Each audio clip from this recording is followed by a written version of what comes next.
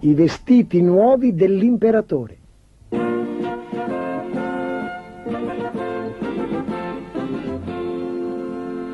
Bisogna dirglielo l'imperatore, strillava il cancelliere. Non ci sono più monete nel forziere. Le ha spese tutte in vestiti. Ma il soldato che era di guardia alla porta della camera da letto dell'imperatore non lo voleva lasciare entrare. Mi dispiace, Sua Signoria, ma l'imperatore in questo momento è nel suo guardaroba. Sta scegliendo qualcosa da indossare. Lei non può entrare. In quello stesso istante la porta si spalancò e apparve l'imperatore seguito dal primo ministro.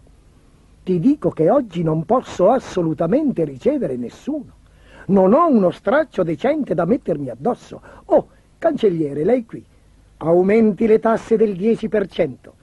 Bisogna per forza che io possa farmi un altro vestito nuovo.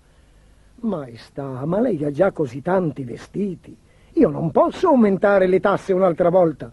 Il popolo non può assolutamente pagare più niente. Non me ne importa, disse l'imperatore. Voglio un altro vestito. Io sono l'imperatore e posso avere tutto quello che mi pare. Nessuno poteva replicare a simili parole e quando più tardi due stranieri arrivarono ai cancelli del palazzo dicendo di essere dei sarti, furono ammessi subito alla presenza dell'imperatore. I due sarti affermarono di essere capaci di cucire gli abiti più belli con le stoffe più preziose e delicate di tutto il mondo. Dov'è questa stoffa? Fatemela vedere subito. La voglio vedere subito, ordinò l'imperatore. Ancora non abbiamo cominciato a tesserla, maestà, disse uno dei sarti. Se vostra maestà ci fornirà la materia prima, un telaio e una grande sala chiara, ci metteremo subito all'opera. Noi forniamo solo la nostra abilità e naturalmente la magia. La magia? La magia? Che magia? gridò eccitato l'imperatore.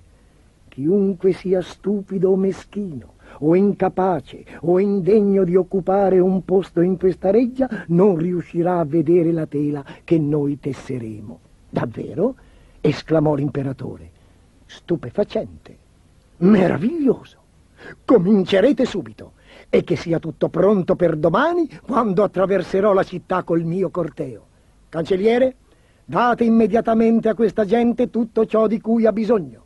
E, girando la schiena, risalì le scale e si diresse al suo diletto guardaroba.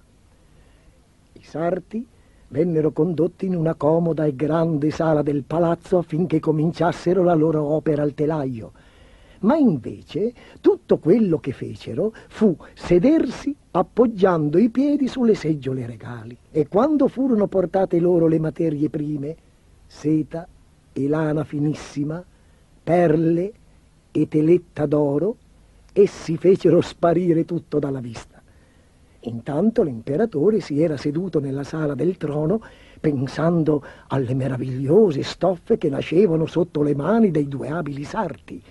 Poi un sorriso maligno gli illuminò il volto e pensò Ora sì che riuscirò a scoprire quale dei miei ministri è meschino, stupido o incapace per il suo lavoro e mandò a chiamare il cancelliere.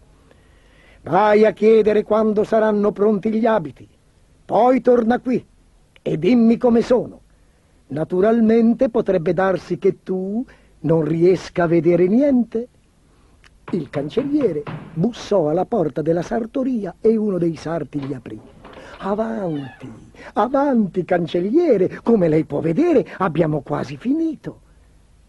In mezzo alla stanza il grande telaio troneggiava completamente vuoto.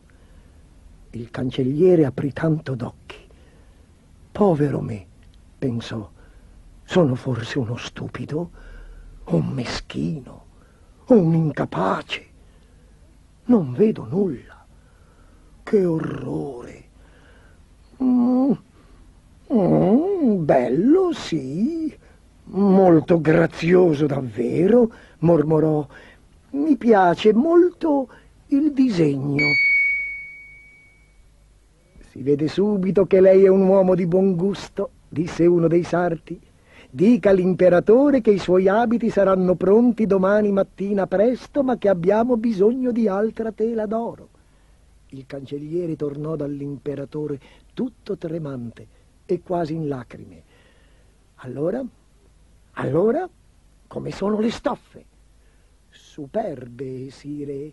Io non ho mai visto niente di simile. L'imperatore si fregò le mani allegramente al pensiero dei bellissimi abiti e di averci azzeccato concedendo fiducia al cancelliere. Bene, bene, ora mandate l'arcivescovo a dare un'occhiata. E anche l'arcivescovo venne mandato a vedere la stoffa magica sul telaio. Dopo di lui fu la volta del primo ministro e poi del comandante dell'esercito. Tutti spalancarono gli occhi davanti al telaio vuoto e pensarono che era terribile non riuscire a vedere nessuna bella stoffa. Sono forse un meschino? si chiese l'arcivescovo. Sono forse uno stupido? si chiese il primo ministro. Sono forse l'uomo sbagliato per comandare l'esercito? si chiese il comandante in capo. E per nascondere i loro dubbi tutti si profusero in complimenti alzando le mani al cielo. Io ho ammirato soprattutto le frange, diceva l'arcivescovo. Ma che colori straordinari, diceva il primo ministro. Eccellente. Sì, proprio di prima qualità, diceva il comandante dell'esercito. Infine l'imperatore scese per andare a misurarsi gli abiti. Ma quando entrò nella stanza rimase paralizzato dalla paura. Oh, povero me, non vedo nemmeno un briciolo di stoffa. Sono dunque più stupido e meschino di tutti i miei ministri messi insieme. Oppure non sono adatto per fare l'imperatore. Nessuno deve accorgersi che io non riesco a vedere la stoffa magica. Cosa ne dice Sua Maestà? chiese uno dei sarti mentre faceva finta di srotolare una pezza di tessuto. Oh, splendido, sì, proprio splendido, farfugliò l'imperatore colmo di infelicità. Poi i sarti lo spogliarono completamente e lo rivestirono con gli abiti nuovi. Loro pensano che ora io sia vestito e devo comportarmi come se lo fossi. Toccate, Sentite la morbidezza del tessuto, diceva uno dei sarti. Cadono a pennello, sosteneva l'altro. Abbiamo lavorato tutta la notte per raggiungere un risultato così perfetto. I due sarti non avevano fatto nulla naturalmente, avevano solo dormito. Il mattino seguente l'imperatore tornò di nuovo nella sala dove si trovavano i sarti per indossare gli abiti nuovi. Mentre i suoi cortigiani facevano circolo intorno a lui battendo le mani, egli faceva tutti i movimenti necessari come se stesse vestendosi davvero. Sua Maestà ha un aspetto proprio magnifico, affermò il cancelliere, timoroso di perdere il suo posto.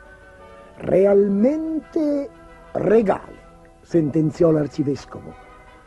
Il popolo rimarrà senza parole rincarò il primo ministro. Ma che belle fibbie, aggiunse il comandante dell'esercito sempre più confuso.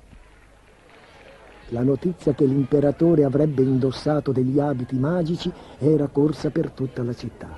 Davanti al palazzo e lungo le strade una folla immensa aspettava ansiosa di vedere l'imperatore in tutta la sua magnificenza. I bambini stavano seduti sulle spalle dei genitori sventolando bandierine colorate. Tutta la città era accorsa in piazza per vedere l'imperatore e il suo nuovo vestito.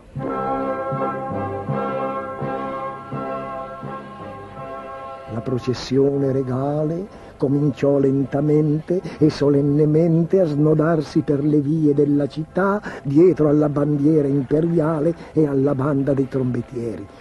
Tutti sapevano che gli stupidi, i meschini e gli incapaci non avrebbero potuto vedere gli abiti magici del re e nessuno voleva ammettere di esserlo. Evviva, evviva! gridava la folla, ma i loro visi erano infelici perché ognuno pensava di essere il più stupido e il più meschino della popolazione. Tu li vedi, vero? Ma certamente che li vedo. Cosa credi che sia? Uno stupido? Intanto i due scaltri sarti, dopo aver impacchettato tutta la ricca materia prima, erano scappati dalla città a cavallo, veloci come il vento. Inchinandosi a destra e a sinistra, l'imperatore avrebbe desiderato che i suoi abiti magici non fossero così incredibilmente leggeri. Aveva un freddo tremendo e avrebbe voluto che gli stivali magici non fossero così meravigliosamente sottili. I ciottoli della strada gli facevano male ai piedi. Ecco, guarda, gridò un babbo al suo figlioletto, l'imperatore sta arrivando. Qual è, babbo? Quello che ha addosso quei vestiti meravigliosi. Ma non ha nessun vestito addosso, babbo. Guarda come sta tremando. Perché non ha gli abiti addosso? La gente vicino a lui, che aveva ascoltato, cominciò a fissarlo. Mm, scusatelo, è troppo piccolo per sapere, si scusava il padre. È troppo giovane per essere ingannato, vuoi dire, disse la madre. L'imperatore è nudo come un verme. Qualcuno l'ha preso in giro e ha preso in giro anche noi. Uno dopo l'altro tutti si resero conto che nessuno riusciva a vedere i vestiti. Riesci a vederli tu? Ma no, credi che sia stupido? L'imperatore è nudo come un verme, gridavano. L'imperatore è vestito di niente. Il sovrano arrossì di vergogna. Era stato preso in giro dai sarti e ora si stava pavoneggiando davanti al suo popolo senza uno straccio di vestito addosso.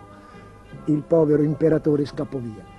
Tornò di corsa al palazzo e non spese mai più soldi per farsi dei vestiti nuovi.